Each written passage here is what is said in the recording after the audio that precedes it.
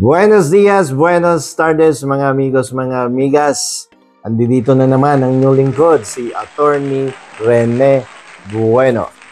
Sa araw na ito ay pag-usapan po natin itong Special Resident Investors Visa sapagkat nababanggit to sa mga huling pahayag ng ating magiting na senador na si Senator Win Gatchalian kapag uh, may mga bago siyang discovery no tungkol dito sa kaso ni Mayor Alice Go na according to the files daw ng Board of Investments, no, ito daw si Mayor Alice Go at ito daw si uh, Go Waping ay one and the same person, no? So ganito 'yan. Kasi nung way back early 2000 nga daw itong si uh, uh, tong father ni Mayor Alice Go ay nag-file daw dito sa Pilipinas ng Special Resident Investors Visa. Ano ba itong Special Resident Investors Visa? Ito ay isang klase ng visa na kung saan pinapayagan ng ating uh, gobyerno ang mga foreign nationals na manirahan dito sa ating bansa upang sila ay uh, mag-invest, no, gumawa, no, magtayo ng negosyo. At uh, upang hindi naman siguro malungkot yung investors na galing sa ibang bansa ay pinapayagan din ng uh, batas natin na isama ang kanyang esposa at ang kanyang mga dependent children.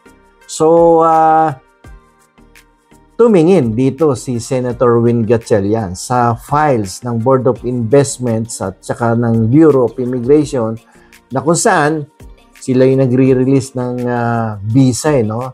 patungkol dito sa Special Resident Investors Visa.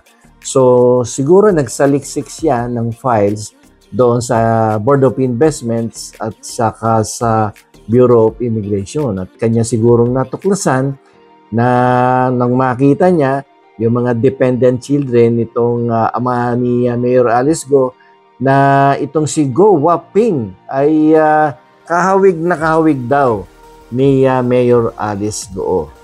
Pero may katotohanan kaya itong mga aligasyon ni uh, Senator Win Gatchalian. Yan po ang ating aalamin base sa existing rules and regulations, lalong-lalo na doon sa mga requirements na hinihingi ng Board of Investments upang ang iyong application for Resident Investors Visa ay kanilang mairekomenda for the issuance of the appropriate visa. Ano-ano ba ang mga requirements ng Special Resident Investors Visa? Ayun, so uh, ang Special Resident Investors Visa ay pinahihintulutan ng isang foreign national na manirahan at gumawa or magtayo ng negosyo dito sa ating bansa no ayon do sa mga listahan na inilabas ng Board of Investments kasi hindi naman lahat ng negosyo pwede nilang pasukan. So may mga priority list yan na ibinibigay ang Board of Investments upang ikaw ay makapasok sa isang negosyo, sa isang industriya. So ano-ano ba yung mga requirements na hinihingi ng Board of Investments sa aplikante at sa kanyang mga dependent children, lalong-lalo na din sa kanyang esposa upang kanilang application ay irekomenda no, for the approval of their visa sa, sa Bureau of Immigration. So ang unang-unang requirement dyan is uh, the uh, passport. Siyempre, kung ikaw ay isang Chinese national, isusurrender mo muna yung iyong uh, Chinese passport sa Board of Investments. At uh, kung kasama mo ang iyong esposa at ang iyong mga dependent children, ayan, ipagkakatiwala mo muna ang kanilang mga pasaporte upang uh, ma-check, no? ma-evaluate at uh, ma-assess ng uh, mga government officials natin na nakatalaga diyan sa Board of Investments. No? So, bubusisiin nila yan. Evaluation, assessment, scrutinize yung dokumento. Okay, pangalawa, bukod sa pasaporte, ay ang kanilang uh, mga birth certificate. Siyempre, mga Chinese nationals yan. So, kailangan ipakita, isumite sa Board of Investments ang kanilang mga birth certificates, no? It should be translated, no, into an English language, is-certify, yeah, authenticate, iba-validate yan yung mga dokumento na yan sa sa kanilang mga embassy Okay, so bukod doon sa birth certificate ng mga bata, yung marriage contract ng tatay at nanay ni Go Waping, no? At dapat yan certified, authenticated, and validated din yan. Hindi basta-basta magsasabit ka ng uh, birth certificate at uh, ng uh, marriage contract without no validating, authenticating, and certifying lahat yan as a as a as an authenticated document. Okay, bukod dyan, no, ay uh, kailangan mo din kumuha ng clearance doon sa country of origin mo bago ka makapunta dito sa Pilipinas. At kukuha ka din ng police clearance na galing doon sa tiniran mo sa China. At dito ay kukuha ka din ng NBI clearance. No, maraming dokumento 'yan. At ito pa ang isa sa pinakamahalaga, dapat may fruit ka, may ebidensya na ikaw ay nagdeposito ng uh, ah, 75,000 US dollars no sa either sa Development Bank of the Philippines or sa Land Bank of the Philippines upang patunayan na ikaw ay may kakayahan na manirahan at magnegosyo dito sa Pilipinas. Okay, madami yung mga nego- mga requirements na yan kasama na din diyan yung medical certificate. Okay? So, uh, kung nadiskubre na si Go Waping at uh, si Alice Go ay iisang tao lamang, ang pwede mong gawin dyan isa, iahambing mo yung birth certificate issued by the Philippine Statistics Authority at yung birth certificate na inisyo ng uh, appropriate government agency from China. At siyempre, makukuha mo din yung passport copy niya doon sa Board of Investment. At uh, ikumpara mo din yung passport na inisyo naman ng Department of Foreign Affairs ng ating bansa.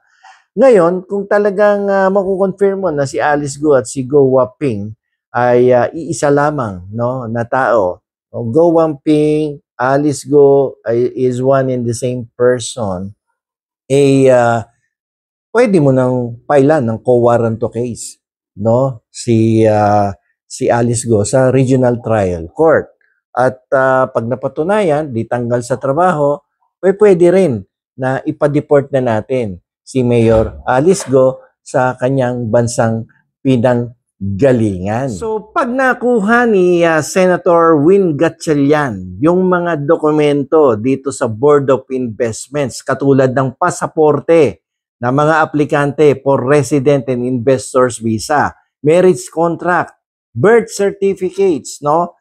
yung uh, police clearance no ay uh, sigurado mabubuking talaga kung talagang nagkaroon ng falsification of public documents at misrepresentation itong uh, tatay at nanay allegedly ni Mayor Alice Go. Kasi dito sa Special Resident Investors Visa ay hindi basta-basta to mag-i-issue at magre-recommenda ng investors visa sa Bureau of Immigration kung hindi nila properly no?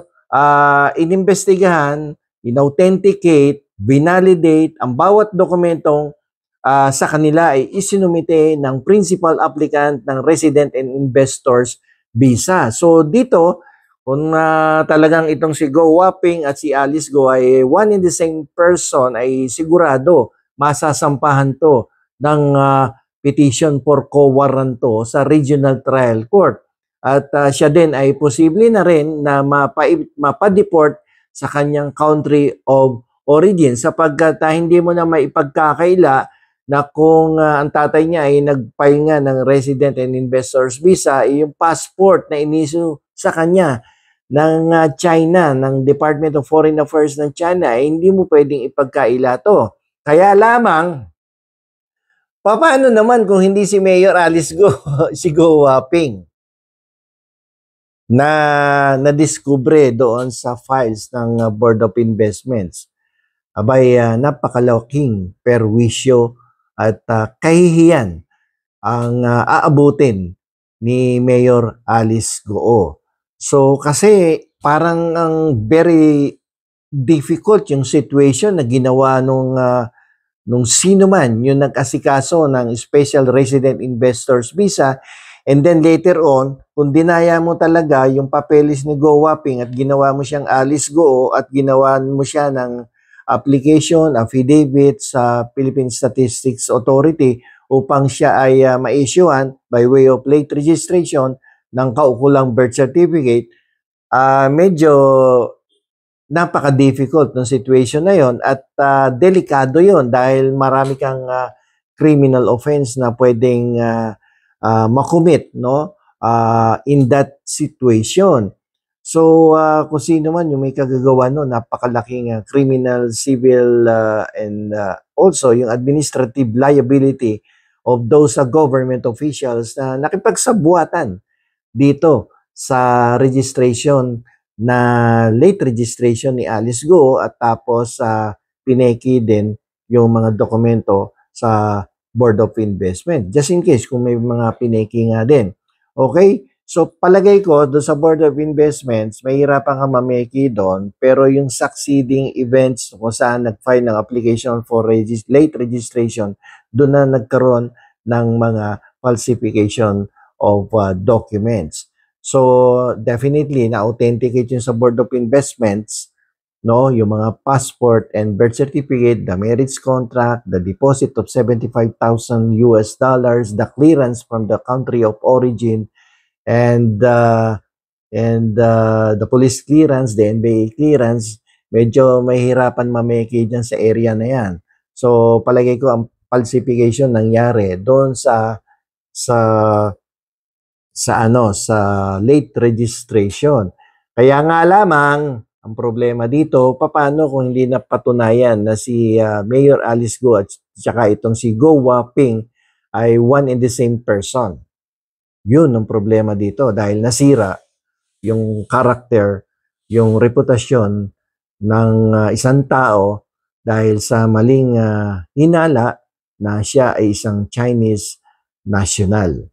So, dapat kasi yung mga ganitong bagay, no, ay uh, pinakikita uh, sa tamang uh, forum, sa tamang uh, venue. Like for instance, you need to file a case in court at tapos i-present mo to bilang ebidensya. At uh, hindi na sana muna ipinablish sa newspaper or sa social media sapagkat baka mamaya magkamali tayo at uh, katakot-takot na puna at uh, criticism ang ating aabutin kung mapapatunayan na nagkamali ang ating mga government officials sa pag uh, mga hinala nila laban kay Mayor Alice Go. So dapat intayin natin yung susunod na kabanata kung ito ay sasampahan ng kaso sa appropriate uh, court at uh, at uh, mapatunayan nga na hindi isang Filipino citizen tong si Alice Go ang susunod na habag dito ay uh, deportation at uh, pagkatanggal sa kanyang posisyon bilang alkalde ng Babban, Tarlac. So intayin po natin no ang uh, susunod na kabanata kung ito bang mga papeles na isinubinte sa Board of Investments ay uh, magpapatunay na si Alice Go ay isang uh, si Go Waping, si pareho lang sila, one and the same person at kung sila nga yan, one and the same person, ay kinakailangan talaga magsampa ng kaukulang kaso upang uh, siya ay uh, matanggal sa kanyang katungkulan bilang alkalde at uh, mapauwi na sa kanyang uh, tunay na bansa doon sa China. Kaya nga lamang, sabi ko nga, kung hindi naman siya yung si Go Waping at uh, nagkamali ang hinala no, laban sa kanya, ano kaya pwedeng ikaso ni Mayor Alice Go? Laban sa mga taong responsable sa pagkakasira ng kanyang reputasyon bilang public official. So hanggang dito na lamang po. Ito pong muli ang inyong lingkod, si Attorney Rene Bueno.